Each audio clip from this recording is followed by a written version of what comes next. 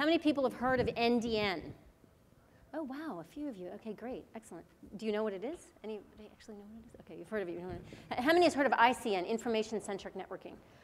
Information-centric networking is a larger bubble in which many different projects are emerging that are all experimenting with this idea of rethinking networking, how to look at networking, but in particular the underlying protocols for moving data around uh, from an information point of view that is chunks of content rather than um, setting up point-to-point -point connections like we think of IP. So I'm going to give you a little bit of a snapshot of this project or really some also some thoughts about this project. Uh, it's been going on, this particular version of ICN, it's called Name Data Networking, it's been going on for seven years. It's kind of a long time uh, by, by research funding standards, but maybe not a long time by, by internet, or communication uh, architecture standards anyway. I'm going to talk a little bit about the evolution of, of ICN, and I'll use NDN as the, the example that I'll drill down into some tech details because that's a project that I'm involved with. And that's a project, where there's a lot of code available that you can go play with yourself if you're brave. But I'll motivate it uh, because some people, probably not people in this room who are actually are in the trenches, don't really understand why we need a new internet architecture because doesn't the internet work great? Uh, I'm very happy to have an audience where I think it's resonant. These people understand more than better why we need a new internet architecture because managing and securing it is impossible. Um, and then I'll, I'll, spend most of the talk uh, describing the project uh, and how it not only is the, the underlying philosophy of the project is building on what we've learned about the internet for the last 30 years, but also that we're learning about architecture as we do this research because it's really a, as basic a research project as network architecture can be. So we can do the obligatory, there's tons of data, everything's being digitized, books and movies and culture and content and knowledge and money and everything, and exponentials, no matter what kind of data you're talking about, are abound. So we have tons of data, and although the IP architecture, the TCP IP architecture that we all know and love was certainly built to move data around, in fact, it was built to move data around. One big use of it was to move data around from one supercomputer to another so that the government didn't have to pay for supercomputers everywhere. Uh, but now it's moving all kinds of data. Uh, and an important, in, fact, maybe the fundamentally important idea about NDN is that for the last hundred years, the notion of communications, and the internet didn't change this. So people think the internet is a revolutionary model of communications relative to the telephone network, and, there's, and there is definitely revolutionary aspects to the IP architecture, packet switching being the ultimate uh, epitome of it. But the fundamental notion of setting up a point-to-point -point link and establishing a channel between it is really what the telephone network did.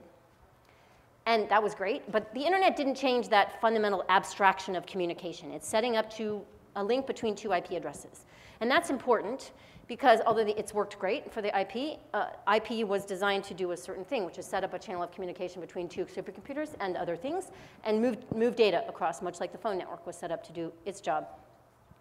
What we have seen in the last 30 years is the, the most common use of the internet, measured by bytes and packets and probably connections, but this can be argued, has been a different type of use of moving data around. It has been getting data from the network not necessarily going to a specific point to get it. In fact, most of us not only don't know where a specific piece of data comes from that we get, although we'd like it to have integrity, we'd like it to be the data that we, that we thought we were going to get, but we don't care where we get it. We want to get it somewhere where it is get delivered to us fast and where it's cheap. So NDN, Name Data Networking, is, a, is an architecture idea that is built on this notion of look at how we're using the network today, and one can make some predictions that these aren't uh, fads, the way that we're using the network today. Obviously, things evolve, but uh, many of the ways that we use the network today are no longer well aligned to a communication architecture abstraction that is based on point to point channels of communication.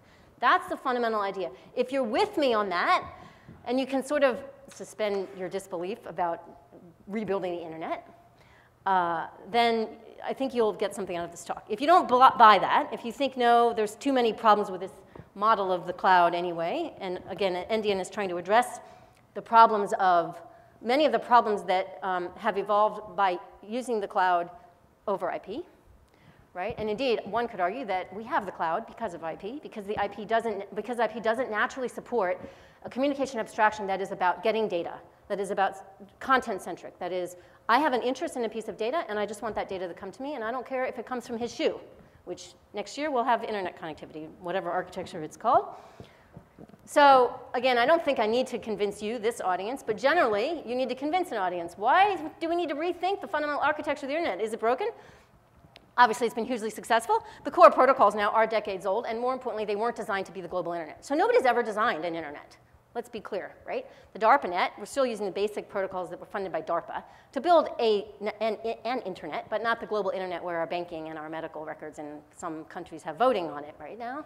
So uh, we, uh, if you've spent enough time studying the internet, which I have, and if you've spent enough time trying to manage and secure the internet, which many of you have, or parts of the internet, I think that you can at least be amenable to the idea that it is possible if you're going to try to design something that's doing what the internet is doing, which nobody has ever tried to do, that you could do a better job than this thing that accidentally escaped from the lab back in the 80s uh, because it was so great, and that we're all using to do things that it really wasn't fundamentally designed to do. And that's not to detract from the immense achievements of the TCP IP architecture, which indeed the fact that it is doing all these things that it wasn't designed to do is absolutely miraculous and nobody has exceeded everybody's expectations. So we will stimulate innovation not only in architecture research itself, but we presume in the layers above it, which is what we all really care about, by addressing three pain points of the current IP architecture that, again, I think you guys care about more than most. Trust and security. In a lot of ways, the IP architecture did not emphasize trust and security. Reducing complexity of managing the networks and of operating networks, uh, and enhancing alignment with applications, how application designers have to think about what abstractions they have to develop to work with the network and to get the network to do things they want and to tell the networks things that they need. Uh, and most importantly, and Van, this is really this particular flavor of ICN because now it's caught fire and Europe is in, doing its own projects and Japan is doing its own projects, other, other folks. But this particular flavor of I, uh, uh ICN called NDN, named in networking, was really born out of an idea by Van Jacobson who was at PARC at the time and is now at Google. He's not working on this stuff at Google. He was supposed to be here today. He sends his apologies. But his primary uh, constraint, one of his primary constraints, was this thing has to be backward compatible with IP. Because nobody thinks we're going to have a flag day and start a new internet. We do think there is a possibility, and we're only going on looking at history, that you could evolve toward a new architecture the way IP evolved from the telephone network. Technically, IP was an overlay on the telephone system for about three or four decades. And now they're pulling out the telephone network underneath and everything's moving on to IP. So it, we have a precedent for this happening. It's not impossible, but in order for it to happen, we need to think about it as more of an overlay, like uh, um, IP, like IP over lease lines, and not like IPv6 uh, or all the conversion technologies that have been attempted. So let's go not 100 years, but let's go 40 years. The first packet over the ARPANET sent from UCLA back in 1969. Fundamentally same communication protocols 40 years later.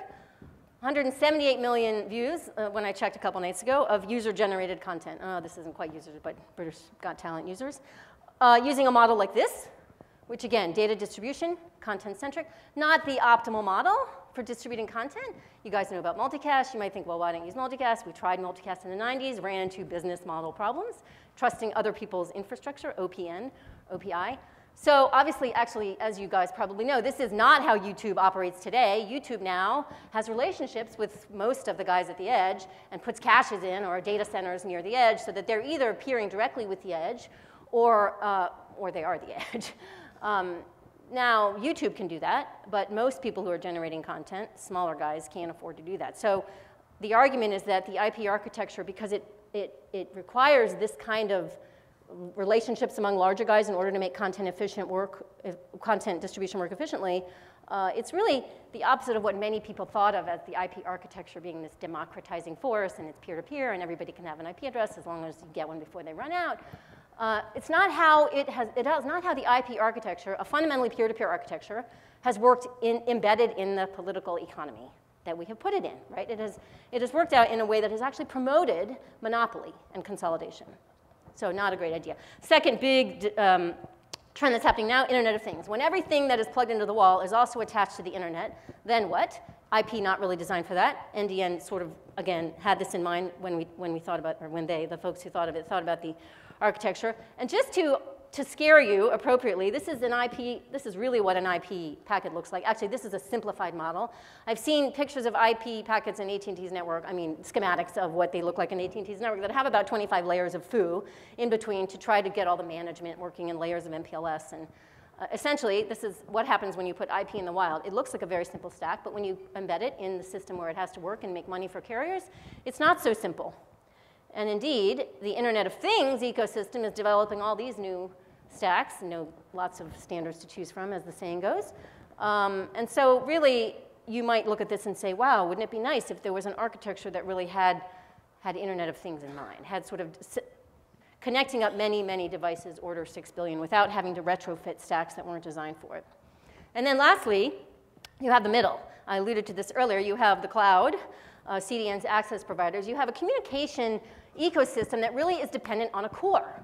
So that, for example, if you're in Japan and there's an earthquake in Tohoku and you have two cell phones that need to go to Tokyo to talk to each other, but the earthquake has severed the communication lines to Tokyo, you're not talking to somebody that's 50 yards away from you.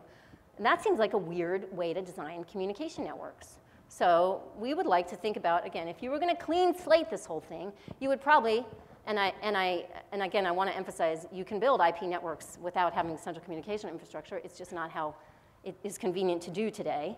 Uh, so we, the way that uh, the designers have thought of NDN is if you were going to, if you were going to design a uh, architecture that would enable and promote ability to make local networks and indeed just not be able to take advantage of ad hoc networks and delay tolerant, intermittent connectivity, mobile devices.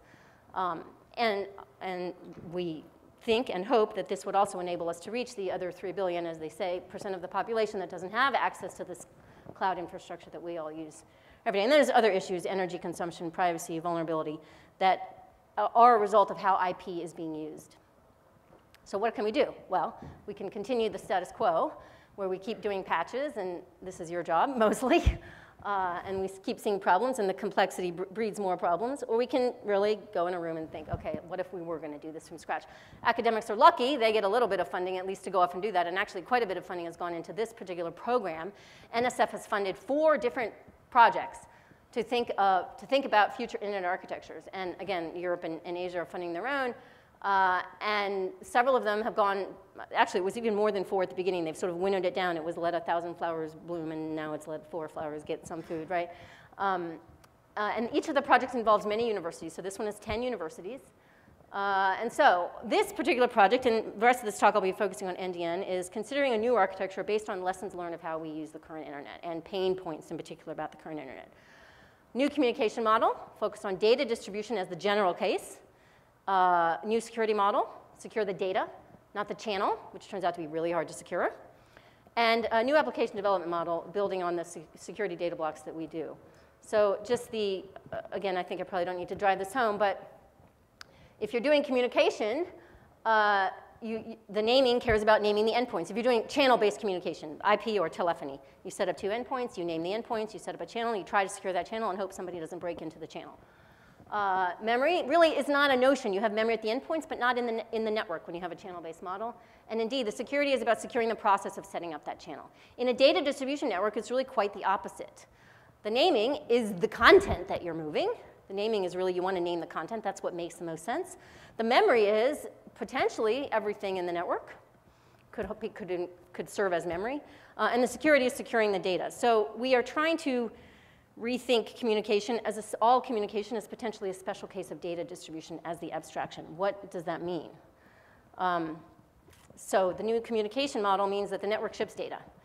Uh, it ships bits that it knows are needed. I'll talk about the two kinds of packets that are in the NDN architecture right now. In the routers in the network, or indeed any device in the network, can do forwarding based on the names. Uh, this is where it gets a little bit mind melting, so I'll go don't laugh when I say this, I'll go slow. um, I said not to laugh, okay.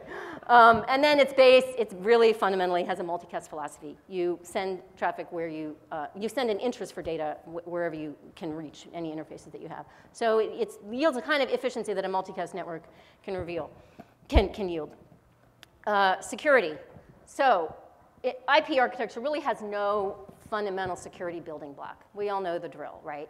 You can put in a fake source IP address, the name to IP mapping isn't secure unless you happen to be having DNSSEC chain all the way to the top, and that doesn't solve all the problems.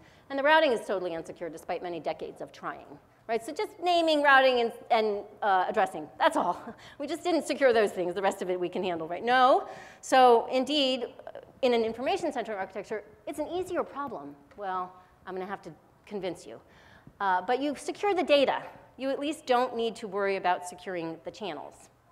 You secure the data, you secure the heck out of the data, and so that becomes what we call a open research problem or uh, a good research problem. Uh, and I'll talk about that uh, a lot at the end I have time.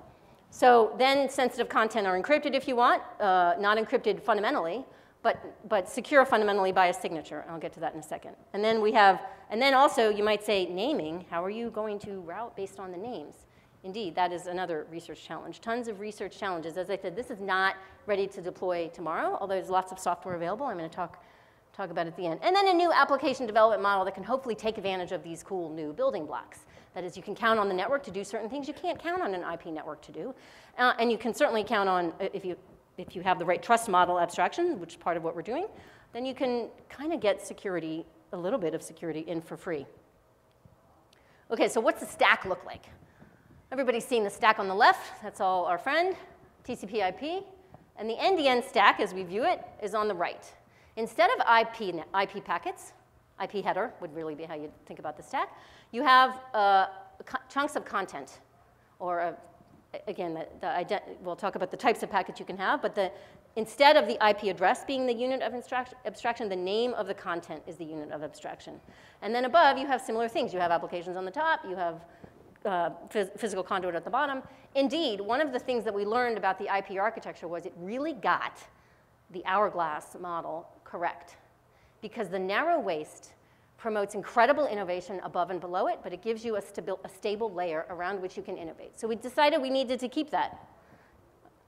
Uh, and another way to think about NDN, but it took me a long time to get my head around this, was that it's really just a generalization of the IP architecture. In the IP architecture, IP addresses name endpoints. In the NDN architecture, names can name anything, including endpoints. Uh, so what do the packets look like? There's two kinds of packets in NDN. This is a research project. I'm not going to say there's be two kinds in five years, but right now there's two kinds. We're trying really hard to make there be two kinds. Interest in a piece of data, where you send out the name of the data that you're interested in, and content coming back, data packet coming back, which has that name of that, the name of the data that you asked for, the content itself that you asked for, some meta information that's the subject of much research discussions, and a signature, the signature is key. I hope to have 10 slides to talk about that. Every packet is signed. Now a whole bunch of questions are flying off in your heads, I hope, by now, and we'll get to some of them later. And then you even have a little schematic of how the communication works, but I'm going to go a little bit further later, I think. Right. So let's contrast moving content around in an IP architecture and an NDN architecture. In an IP architecture, you got your source address, you get source and destination packet, it goes up to a router, it goes in the FIB, the FIB decides where it goes, it gets one choice, right? In the FIB, there's one forwarding path. I mean, you have other stuff down on the RIB, but you get to use one. You send it, maybe you can't send it the other way because there's policy in there and business models and market mechanisms and things. Uh, and then it comes back, whichever way it can come back, hopefully it comes back. But the path is really determined by global routing, not local choice. And that's an important thing for people who think the IP is a romantic architecture that enables the end user to do whatever they want. In an information-centric architecture, this is not specific to NDN, uh, First of all, you can't get data unless somebody, you can't send data unless somebody's asked for it. So that made me really happy because I was getting a lot of spam the year that this started. Uh, you, you have to send an interest in order to trigger data transition. The data flows over the reverse path.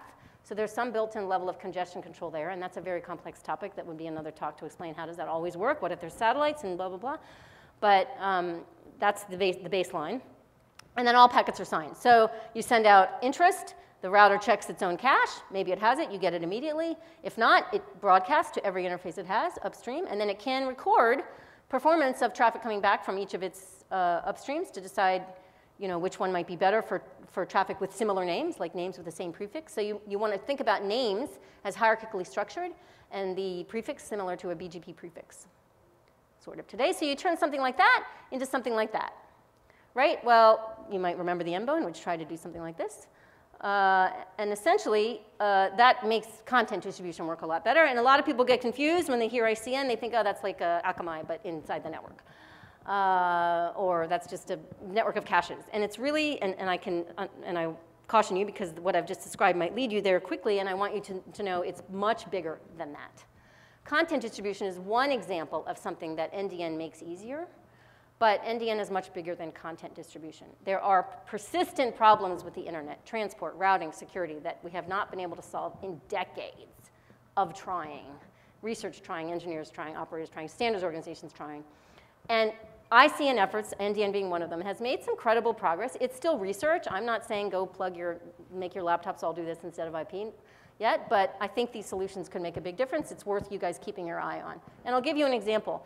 Again, how the abstractions, and they're not going to be completely unfamiliar abstractions to you. In fact, hopefully you'll say, yeah, maybe that would work at the network layer. Maybe there is something to that, or even as an overlay over IP for a certain pocket of communication models. So there's these three are the ones I just mentioned, transport, routing, security. I'm going to only talk about two. I'm going to talk about transport. I'm going to skip the middle one because it would really melt your brain. And I will um, talk about trust a little bit, transport. So how do we think about transport? These are Van's. Some of these are Van slides. I've borrowed slides. You send stuff from A to B, you mark what's been sent, you mark what's not been, you know what's not been sent, and you use a sequence number to do that. Um, it models the process. Whoops, it went too far there. It models the process, not the outcome. What, how does NDN, and again, this is a very new, this is sort of bleeding edge of NDN, thinking about abstractions above the, above the sheer interest data, two packets exchange, but how to do this at scale and how to support applications better. A better way is what's called synchronization. Well, okay, we, we talk about this in, in other contexts right now, data centers and databases. But again, borrowing from good ideas in neighboring subdisciplines, we think of the interest data abstraction, the interest data uh, mechanisms as being able to support this notion of I send out an interest for a part of a database that I don't have yet or a part of a data structure that I don't have yet and I get a response. Right? And so there's some theoretical results that have been published in the last 10 years, 15 years, I guess, that says the reconciliation of any two sets can be done with communication cost that's proportional to the difference between those sets. That's good if you can make it work in an implementation, if you could take advantage of these theoretical results. Uh, you can get something that's the same communication cost as TCP IP, but much more general and robust. So that's transport. And then let me talk about trust. And trust is really um, more difficult to get your head around. I will spend some time talking about it, and then uh, it, hopefully entertain some questions. And by the way, if you're really lost or want me to slow down, raise your hand and you can ask a question. They said I'm allowed to take questions in the middle. Um, so a secure, we have a security researcher, Alex Halderman, who's worked on this project for just a couple of years, not since the beginning of it. He's really a host security guy, uh, historically, as many other things. He does a ton of things. And he came in kind of cold, learned about NDN, was a little skeptical, as a security person might be, saying, what, what is about the signatures? How do they work? How do you do the key distribution problem with the signatures? Um, but he gave a talk at our last PI meeting, and I stole some of his slides too, where he explained uh, the security concepts in NDN better than people who've been in the project for seven years. So let me try his way. Uh, NDN starts with some very simple mechanisms, and then there's a research process. We're in the process of, think, of figuring out what sort of implications and applications these mechanisms can provide to us, instead of, say, starting with security properties. Alex actually found this compelling because we don't get to define future threats, we get to define mechanisms, though. And indeed, the mechanisms have been quite generative of security capabilities, or at least promised security capabilities. So back to the interest data packet model. You've seen this bottom slide before, and the top slide modeling, actually you've seen this whole slide, and the top slide modeling um, how it works. Send out an interest, maybe it's in one of the caches along the way, maybe it goes all the way to the publisher. The publisher is the one that signs the content. So the, the publisher puts, it, puts a signature in, and you've seen these, these things before. I'm reminding, I'm going pretty fast, but because of the lack of addresses, you actually are resistant to certain kinds of denial of service. Now, obviously, any new architecture will open up new potential for denial of service, like cache poisoning you might have already thought of. Work is going on in that too. Um, but you reduce the attack surface, not only because data flows only in response to an interest, so unsolicited traffic can't happen. I spend a lot of my other part of my life studying, studying what you can learn from unsolicited traffic. But most importantly, all content must be signed right? So that gives you a very flexible foundation for, not all content must be encrypted, repeat, privacy is sort of up to the user, but all content must be signed. Uh, the, the intermediate routers don't, could, but don't tend to, don't by default um, check the SIGs, but the endpoints do, because the endpoints are who cares about the integrity of the content. So that's a flexible foundation for lots of security properties, integrity, authentication, access, all the things that you guys do. Now here's the sort of mind melding part, is that a signature itself is a piece of content. So your, the first data packet has a, is a, has a signature in it, which is a key locator to a data packet that itself is a certificate. Certificates are named just like signed data. Indeed, you could argue you get them for free in this, in this data-centric approach, but you might say, okay, how, how do you get the, who's going to do the certificate distribution part? How do you do key management? As, as he says, reducing it to, as I say, reducing it to a problem we already know we don't have, know, know how to solve.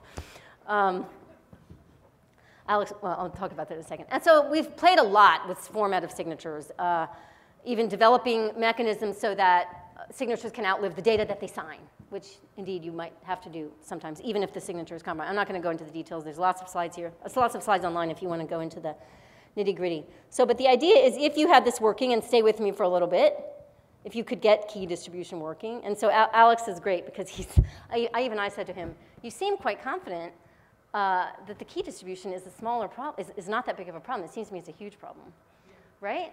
And he said, I do host security for a living. So indeed, if I can reduce a if I can reduce a problem to merely a key management problem, it does look easier to solve in the large. And of course, one could argue that if there were more motivation to make certain key distribution systems work better, uh, if there was more return on investment of that, you might see more uptake and effectiveness. So that's an open question, I agree, including making signatures work fast, even if the routers don't have to do them.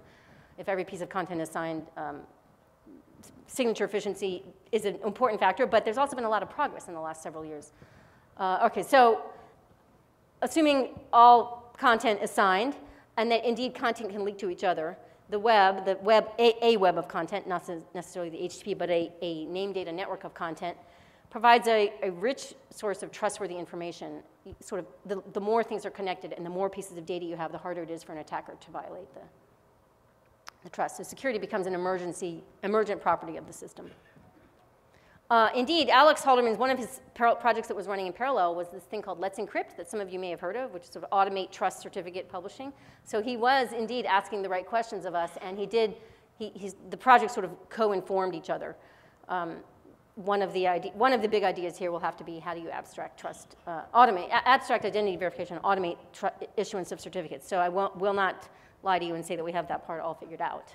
Indeed, we have a test, we have an NDN test bed, and we have sort of one guy who's in charge. He's our Jon Postel, right? He's in charge of giving us certificates right now. Now, but the important, uh, another important concept to take away of from the security dimension of NDN is in order to make these signature things work for real people, you need what we now call some schemas that, that establish a framework of how signatures can actually authorize who was allowed to see what, who was allowed to sign what. So a lot of the meat will come down to how is the namespace design, designed. That is, the namespace can be designed, and that's part of the point of it, it can be designed to enhance trust, to in, indeed guarantee trust by making sure the signatures themselves have, the, the names themselves are, are designed in a way to point to trust authority, to point to trust authority and trust certificate. So here we have an example of a blog, a namespace design that can convey capabilities of who's allowed to sign a blog, oh, who's, who's allowed to author a blog, who the blog administrators, and the admin who gives the administrators administrative privileges. So we have developed, and there's a paper in the most recent ICANN conference about examples of using what we call schematized trust, that is, established models of this certificate is structured in this way, point to this role in a certain model of communication, uh, and, it, and it works. At least it is now working for us in our testbed for routing, for signing routing authorities. So it's an abstract validation based on using the structure of the namespace to allow applications, and each, each application can pick their own trust schema.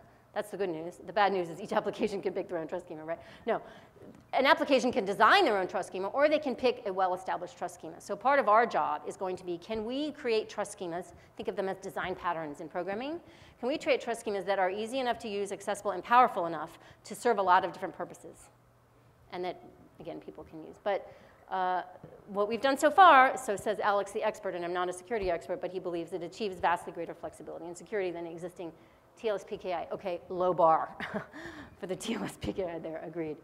And then we were experimenting with uh, sort of challenging applications like Open mHealth, which makes us think, forces us to think about privacy and confidentiality at a fairly fine granularity. So we have one of our test apps, NDN Fit, like your fitness application on your phone that records data, but then we have had to use that app to think about, okay, I would like to share my running data with my friends, my personal data with a doctor. And so we've, we've used application-driven design specifically to force ourselves to think about really how is this going to work in the real world where confidentiality and privacy are fine-grained notions. All right, so this is what I mentioned earlier, is that this, from a security perspective, one of the things we've learned is that data-centric philosophy allows us to turn hard problems into relatively easier problems. And maybe you guys agree with that, and maybe you don't, and you can come talk to me after. Obviously, nobody's going to ever solve the security problem. You guys have jobs forever, but architecture can give us a more powerful foundation, and that's what we're trying to do. Um, who's using it now? Has anybody actually downloaded this? Wow, cool. Okay, so you can tell me if I'm blowing smoke up here, right? Um, it's not your, it's not ready for for your dad, probably, or your mom, or maybe even you. There are some big data applications. High energy physics community is, is starting to use this and successfully because these guys have big, huge chunks of data and naming it, designing, if you have somebody who knows about namespaces to help you design the namespace of your data can tremendously help you use that data in science effectively. Share that data with CERN or whatever. Uh, compute on that data. Uh, there is a little bit of commercial interest in, in a narrow slice of it. Cisco is quite interested in this. They're interested in, in, again, productizing it in the shorter term, I think. So they're focused on how some of the concepts can be used to build, say, video content distribution layers all reasonable. We had one, one guy, a single guy, I think runs a very small company who's using NDN as an overlay to provide secure, kind of like a secure Dropbox system. It's, uh, he's got slides up, he presented at the community meeting. We have NDNCom every year. Oops, sorry. Uh, and there's a report on that. So if you want to learn really more about, but I, I will warn you, the focus right now is the big data science guys and some very uh, brave experimenters. However, uh, and then there's a huge research agenda. Oh, I didn't know that was like that. Okay. Huge research agenda. So I think this is a very, you know, and one of the things we've learned is you, you, know you pick a good problem when there's way more papers to write than you can possibly write, or way more things to look at and, and build tools for and build tools for than you can possibly do in the amount of money that the funding agency has given you, and that's indeed what happened to us. So the research agenda is broad and wide and deep and exciting. Uh, and um, I'll just go into the code that's available now in case people want to play with it and then take some questions. So highly collaborative, 10 campuses involved, software is all open source, GitHub. Uh, everything, almost everything we do that we can put online, we put online. Tutorials, tech reports, I'll give you an example of a tutorial we put online. So there's a annual conference now called ICN, Information Centric Networking Conference, and we had four papers there uh, last month, and all that stuff is online. I don't think the videos are online. Our website is named-data.net. Why should you care? Maybe you're convinced already, but I think operators have a particular appreciation for looking at problems in new ways that can get rid of unnecessary detail. And we're moving into a world where lots of complexity is going to be added to IP, like even more than is added now in order to make it work for domains in which it was not designed to work in. So we are trying to rethink it, knowing where the puck is going and trying to skate in that direction. Um, all right, so nuts and bolts, nuts, NDN nuts and bolts. Here's what the architecture looks like right now. From a code perspective, we've got this base called an NDN forwarding daemon. That's where the magic happens as interest in data, interest get forwarded and data gets sent back. And then you have things that establish tunnels for overlays and libraries, applications, routing information. And this is this box in the middle, NFD box, is blown up here. Lots of stuff going on inside the NFD architecture and lots of documentation. This is one of the better documented parts of the project, 50 page sort of manual on how NFD works, because you do have you know, the equivalent of the spiritual equivalent of uh, BGP routing policy would be forwarding strategies inside, inside an NDN node where you would get to sort of use meta information that you may get to determine where to send interests if you don't want to send them across all interfaces that we call faces in NDN. Uh, and there's lots of libraries, multiple languages are being supported in libraries, really trying to make it an ecos- a software ecosystem that people will really experiment with because We've learned, if there's one thing we've learned, and we kind of went in thinking this, so this hypothesis has been dramatically confirmed, that application-driven design is the most effective way to find faults with your assumptions about architecture. So lots of applications. Again, I'm, Facebook isn't on here yet, but you know we're we're working. There's a chat. There's a chat uh, application. There's an NDN video application. We're really looking for users to come and try to break it for us and tell us what's wrong with it. So if you are so inclined, and I'd love for the people who have used it to come up and give comments, uh, GitHub slash name data named-data. Uh, and then there's a tutor tutorial that's only a couple weeks old where we really focused on one thread of it, the security and synchronization aspect. Um, we're hoping to get more people interested, guiding uh, research and development, and just people like you who, who may not be doing research but are interested in nuts and bolts and plumbing and how people are thinking about it. And you, you are the most important people who can tell us where our assumptions are wrong about how, how people operate and manage networks. So um, that tutorial is online there on our, on our website. And so second to last slide um, is this overarching vision for the future internet. So what have, I, what have I basically told you? That we believe a future internet will probably have, and again, taking lessons from not only the history of networking architecture, but the history of communication moving, moving data around inside companies, inside data centers. We believe that the vision of the future will include secure, immutable data with hierarchical names, most names being hierarchical. This will support the architecture's design to be aligned with the needs of big science as well as small IoT needs, mobility, intermittency, and connectivity, and promotion of data efficient data management and sharing. Uh, in this model, applications can focus on their data and the networking, much of the networking plumbing, they don't have to worry about like they have to worry about with IP. That's the hope, that's the vision.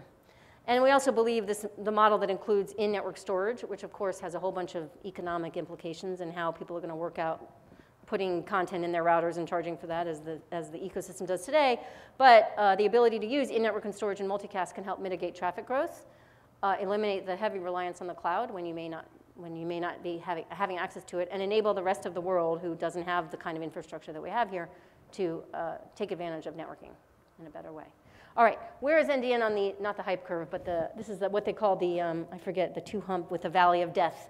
In the middle, when you get, try to get research through to tech transfer, as they call it in the Fedland, uh, to commercialization and monetization. And Dave Clark wrote this great blog entry that you have to go look at this, not blog, they weren't blogs back in 85, it was an essay on the website um, to describe uh, sort of how researchers try to fit their project kind of before that line. Uh, because really, I, I think ND, at least NDN, and you should know there's a working group in the IRTF. R is for research, so before it's ready for the IETF, there's a working group in the IRTF that's called ICN.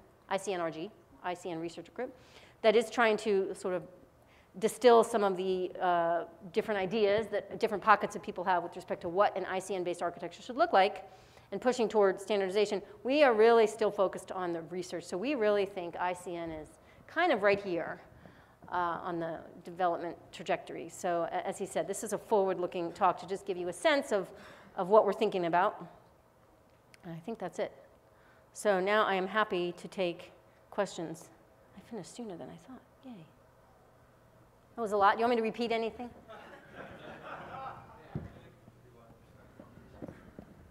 Especially the people who have used it, please come to the mic and. Oh, I'm sorry. Yeah, I didn't want to go into too much of the details. So PIT is, um, and that was, I didn't, did I actually say those? After? FIB. Well, FIB, um, yeah, it was. Oh, it was the end? Um, no, there was no diagram at the end. Oh, yes. Yes, right. So I'll tell you the, I'll tell you the nitty gritty details. Ta the these are like routing tables. The equivalent, again, spiritual equivalent of routing tables in IP. FIB, indeed, is like FIB in BGP, forwarding information base. PIT is pending interest table. So you might figure you've got to, okay, the, how, does the, how does the world work in, in NDN? You send interest out if you want a piece of data. There's interest the, the router keeps the interest. The node keeps the interest uh, and then sends it on if it doesn't have it in its content. CS is content store. Sorry, I should have introduced some of these terms. If it doesn't have it in its, in its cache, in its content store, then it sends the interest on, and, there, and thereby it know, when, the, when the content comes back, it knows who it was for. So the PIT is pending interest table. Um, I have a lot of questions, but I'll try to limit it as. Okay, I probably won't be able to answer most of them, but. Yeah. Um, so are you still going to be, you know, dependent on BGP, or is that going to be? Uh, could or yes and yes and no. That is, you know, I, right now we have an NDN testbed, and the I should have drawn a map of it. The NDN testbed is global, but it's an it's an overlay on IP. In a pure NDN world, not necessarily, right? In fact, so that was the the, the line that I wasn't going to describe, which was the routing. But you know, really, in a world where you have names like BGP, you could use BGP, you could use, actually, the testbed right now use name, uh, NLSR, which is essentially um, uh, link state routing for the, for the testbed, but it's essentially a hack to BGP to enable it to work with names, okay. right? In the, in the future, there's lots of way crazy routing type ideas, which are actually very compelling ideas.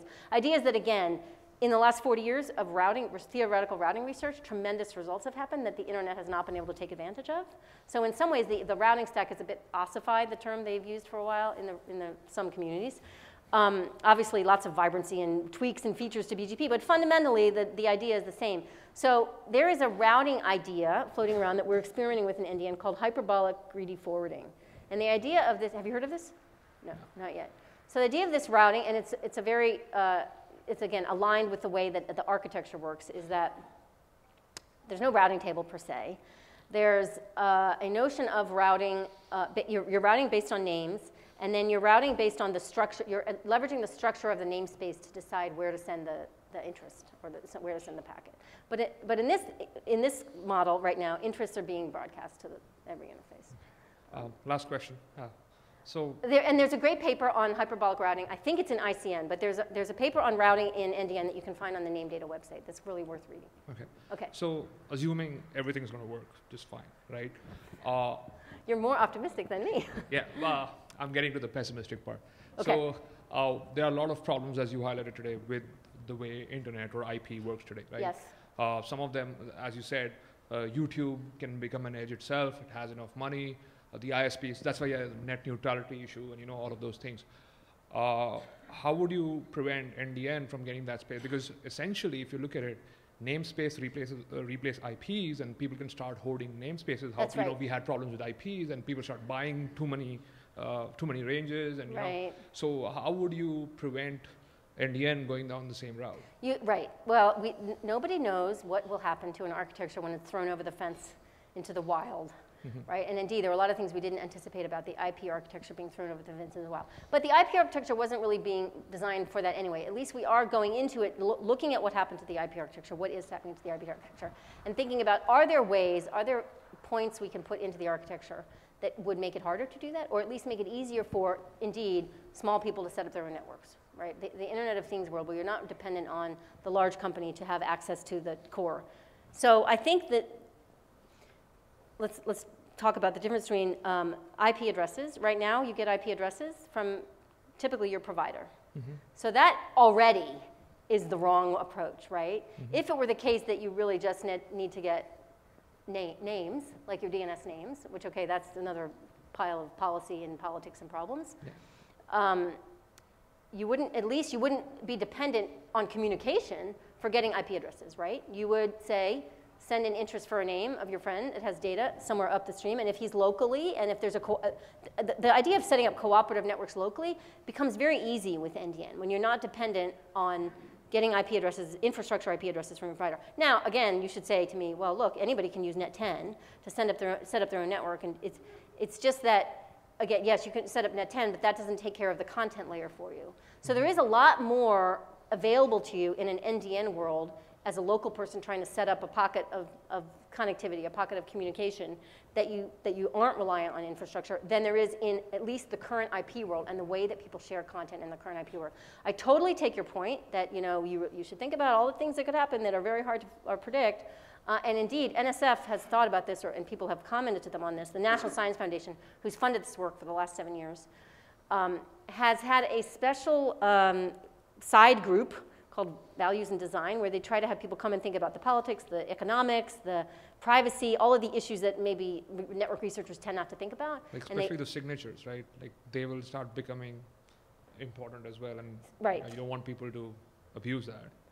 Abuse it, meaning what, break? I mean, if you're going to have uh, somebody who signs a signing authority, right? right. Then again, you're you're creating another potential place for commoditizing this. For commodity? Sorry. That's okay. Yeah, ask me after. But yes, I agree. The, I mean, the signature and the key management problem is a huge, is a huge open problem. We're trying to create mechanisms that will make it easier to solve. Is it too late? Oh, okay. Sorry. One question. I'll talk as fast as I can, Mario. Uh, so when I looked at NDN a year ago, it seems like the, one of the things that was really tricky is figuring out how you would model a, um, an application with mutable state, right? So it's really clear how you could build a namespace for uh, um, static uh, immutable data or, or constantly uh, growing immutable data. Yes. But it was very unclear to me how you, um, how you could define uh, applications with mutable state. And so I'm wondering what kind of progress has happened in the last year Uh, in that space, and if you've come up with some ways to sort of schematize that in the same way that you were talking about. Yes, it is, it is a topic of research conversation. It would take too long, I think, to answer, but let me talk to you offline about it. But yes, we, it is an active area of research and consideration. Oh, well, really. Thank you very much.